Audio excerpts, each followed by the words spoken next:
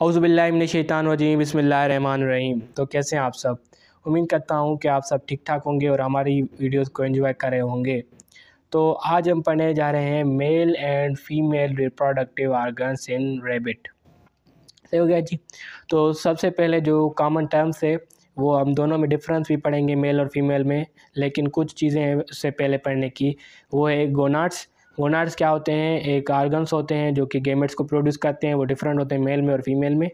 और अगर हम बात करें दूसरे आर्गन्स की तो वो होते हैं डक्ट्स जो कि गेमेट जो गेमेट्स प्रोड्यूस होते हैं गोनाड्स में तो उनको कलेक्ट करते हैं। उनको कलेक्टिंग ट्यूब्स के, कहा जाता है, जिसको डक्ट कहते हैं।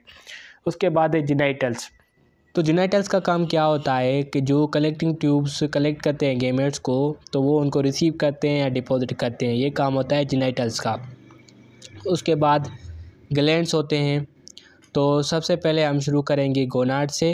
गोनाड्स क्या है? गेमेट्स प्रोड्यूसिंग आर्गन से और हम देखेंगे difference between male and female अगर हम मेल की बात करें तो मेल में होते हैं टेस्टिस जो प्रोड्यूस करते हैं टेस्टिस इनका नंबर कितना होता है? दो होते हैं।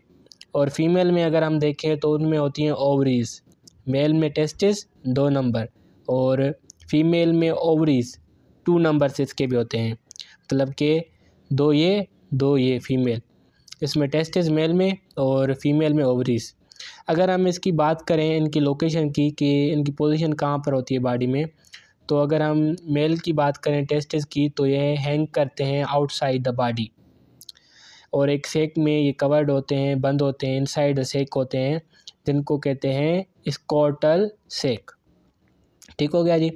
उसके बाद है फीमेल फीमेल अगर मैं, हम देखें ओवरीज की तो ये लोकेटेड होते हैं एब्डोमिनल कैविटी। रेबिट की, फीमेल रेबिट की, एब्डोमिनल कैविटी में ये लोकेटेड होती हैं ओवरीज।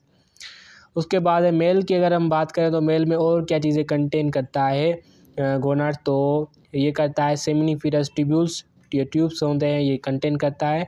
और उसके बाद है, एपीडाइडेमस। एपीडाइडेमस क्या है? ये स्पम जो टेस्टिस बनाते हैं, उनको कलेक्ट करता है। और अगर हम फीमेल की बात करें फर्दर मोर तो फीमेल में ओवरीज में क्या प्रोड्यूस होता है? प्रोड्यूस होता है एक ओवम मेल में क्या है? मेल में टेस्टेस होते हैं फीमेल में ओवरीज होती हैं और दो दो नंबर्स होते हैं इनमें भी मेल में और फीमेल में।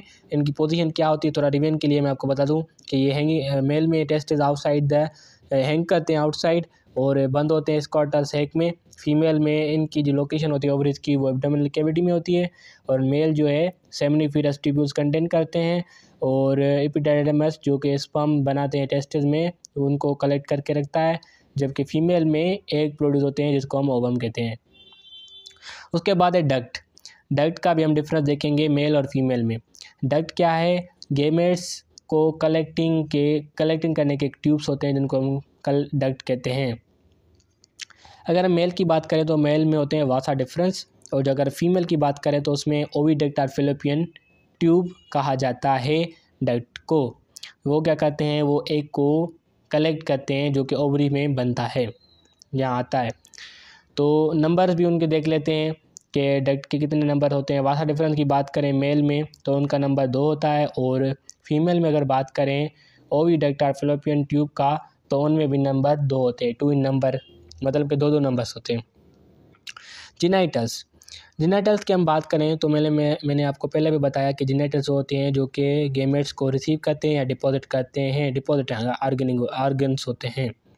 अगर हम मेल और फीमेल को देखें तो मेल में इसका जो जिनाइटल आर्गन है वो है पीनस ये क्या है? Muscular organ to transform semen into female genital ये आर्गन होता है जो कि सीमन को ट्रांसफ़र करता है फीमेल के जिनाइटल में। एज अ ट्रांसफरिंग काम करता है मेल का पीनस उसके बाद है फीमेल फीमेल में अगर हम देखें तो उसमें होता है विजयना ट्यूब होता है, एक ट्यूब होता है जो कि जो सीमन आता है पीनस के ज़रिए उसको रिसीव करता है जो कंटेन करता है मैनी स्पम्प्स जिसमें बहुत सारे स्पम्प्स होते हैं तो वो कलेक्ट करती है। एक ट्यूब होता है विजयना उसके बाद है ग्लैंड्स। अगर हम ग्लैंड्स की बात करें तो वो भी डिफरेंट होते हैं मेल और फीमेल में। ग्लैंड्स मेल में होते हैं प्रोस्टेट ग्लैंड कॉपर्स ग्लैंड और सेमिनिकल सेमिनल वेसिकल और फीमेल की अगर हम बात करें तो ovary work as a gland as well है। मतलब कि फ़ीमेल में ओवरी एज अ ग्लैंड भी काम करती है। तो ये तो हो गया फ़र्स्ट स्लाइड और सेकंड स्लाइड पर ये आपको ये स्ट्रक्चर दी गई है रिप्रोडक्टिव आर्गन्स ऑफ़ रेबिट जिसमें मेल भी है और फीमेल भी है जिसमें हमने बात की। आ, सबसे पहले ए जो दिया गया वह मेल का है और फीमेल बी जो है वो फीमेल का दिया गया है। तो इसमें सबसे पहले टेस्टिज हैं। टेस्टिज के अगर आप देखें स्ट्रक्चर तो ये दोनों टेस्टिज हैं। यहाँ पर लिखा हुआ है यहाँ पर थोड़ा सा धुंधला है लेकिन ये आप देख रहे हैं। ये टेस्टिज दो नंबर में है उसके बाद ओवरीज भी दो नंबर में है। दो नंबर नंबर दो है उनका। टू नंबर्स में यहाँ पर फीमेल जो स्ट्रक्चर है। ठीक हो गया। जी उसके बाद है विजयना है। यहाँ पर इसका पीनस है और उसके बाद जो ग्लैंड है प्रोस्टेट ग्लैंड है कॉपर्स ग्लैंड है मेल में और यहाँ पर ओवरी है। मतलब कि ये ये स्ट्रक्चर दी गई है आपको मेल और फीमेल रेबिट की। आ, उसके बाद है फर्टिलाइजेशन फर्टिलाइजेशन की अगर हम बात करें तो fertilisation is the fusion of male and female gametes सही हो गया? जो कि एक जाइगोड बनाते हैं। वो कैसे? अब हमने पढ़ा थे कि भाई गेमेट्स बनाते हैं गोनेट्स फिर उसके बाद डक्ट होते हैं जो कलेक्टिंग करते हैं, फिर जेनेटल्स होते हैं जो डिपॉजिट करते हैं रिसीव करते हैं।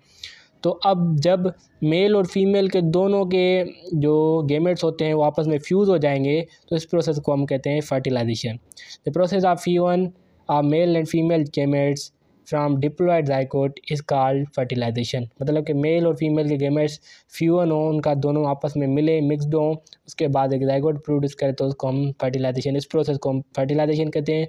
और on the basis of location मतलब कि एक होती है एक्सटर्नल फर्टिलाइजेशन अंदर in the inside the body और आउटसाइड द बॉडी तो उनकी लोकेशन के बेसिस पर फर्टिलाइजेशन को डिवाइड किया गया है। There are two types of fertilisation एक होती है एक्सटर्नल फर्टिलाइजेशन दूसरी होती है इंटरनल फर्टिलाइजेशन अगर हम डिफरेंस देखें एक्सटर्नल और एक्सटर्नल और इंटरनल फर्टिलाइजेशन का तो कुछ डिफरेंस यूँ है। एक्सटर्नल जो फर्टिलाइजेशन होगी फ्यून होगा गेमेट्स का मेल और फीमेल का, वो होगा आउटसाइड द बॉडी और इंटरनल में अगर देखें तो वो inside the body of female किसके होगा? Inside the body of female fertilisation होगी। और अगर हम एक्सटर्नल फर्टिलाइजेशन को देखें तो एक्सटर्नल फर्टिलाइजेशन वाटर में होगी it takes place in water जबकि फीम जो इंटरनल फर्टिलाइजेशन होगी वो इनसाइड द फीमेल बॉडी होगी इंटरनल फर्टिलाइजेशन और अगर हम एक्सटर्नल फर्टिलाइजेशन को देखें तो both gametes mature at the same time जो बोथ गेमेट्स होंगे वो मेच्योर एक सेम ही टाइम पर होंगे. और अगर हम बात करें इंटरनल फर्टिलाइजेशन में तो जो गेमेट्स होंगे वो मेच्योर होंगे आफ्टर ईच अदर एक दूसरे के बाद मेच्योर होंगे। और उसके बाद है एक्सटर्नल फर्टिलाइजेशन की एक और point gametes are produce in the large numbers external fertilisation में जो नंबर होता है, वो लार्ज नंबर में होता है। ये इसलिए लार्ज नंबर में प्रोड्यूस करते हैं क्योंकि इनके जो गेमेट्स होते हैं, उनको ख़तरा लायक होता है। दूसरे एक्वेटिक लाइफ से उनको डैमेज ना करें तो इसके लिए लार्ज नंबर ताकि ये आपस में फ्यूअन ज़रूर हो इनका और इंटरनल फर्टिलाइजेशन की बात करें तो लिमिटेड नंबर्स में गेमेट प्रोड्यूस होते हैं, क्योंकि इनमें खतरा लायक नहीं होता। और अगर हम एक्सटर्नल और इंटरनल फर्टिलाइजेशन की बात करें तो एक्सटर्नल फर्टिलाइजेशन फिशेज और एम्फीबियंस में होती है। और अगर हम इंटरनल फर्टिलाइजेशन की बात करें तो internal fertilisation reptiles as birds and mammals में होती है। आई होप कि आपको आज का लेक्चर पसंद आया। अगर पसंद आया है तो वीडियो को लाइक कीजिएगा और चैनल को सब्सक्राइब नहीं किया तो चैनल को सब्सक्राइब कर दीजिएगा। मिल देंगे ऐसी नई नई लेक्चर में। तब तक के लिए अपना ख्याल रखिए। Wish you best of luck and I love you all